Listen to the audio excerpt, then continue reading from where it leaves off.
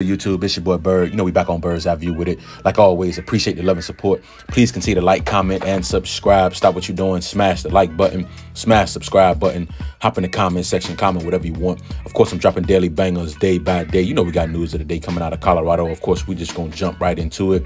We got Myles Ghost Rowser He's a four-star DB, 6'1", a buck 90 out of Detroit, Michigan. He was in that 2022 class. Top four player in the state of Michigan. Top 20 safety in the country. Top 300 overall player. Of course, he chose Campbell. He had offers from Arkansas, Michigan, Bama, Florida State, Penn State, Tennessee, Florida, Cincinnati, just to name a few. Uh, he has very high instincts, takes really good angles to the football, extremely good tackler.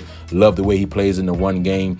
Really great coverage skills as well. He's just an explosive athlete. I know we spoke about him a few weeks ago and how Colorado was in his top six. Well, he just recently dropped that he will be committing on Friday at 3 p.m.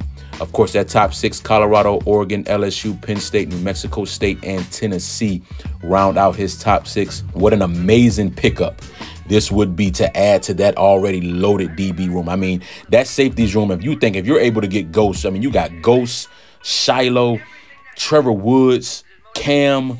You got the four-star Arkansas transfer, Myles Slusher. You got Roderick Woods, who was all conference as well that transferred in. I mean, that safeties room, that's going to be one of the best safeties rooms in the Pac-12 for sure. I mean, that that is really, really impressive for a safeties room if you're able to land Ghost as well. I mean, that young man, as a true freshman, 44 tackles, three PBUs, an interception, a tackle for loss, and a fumble recovery as well. So we're going to see exactly what transpires there. But you're in the running to land this young man, and he will be committing Friday.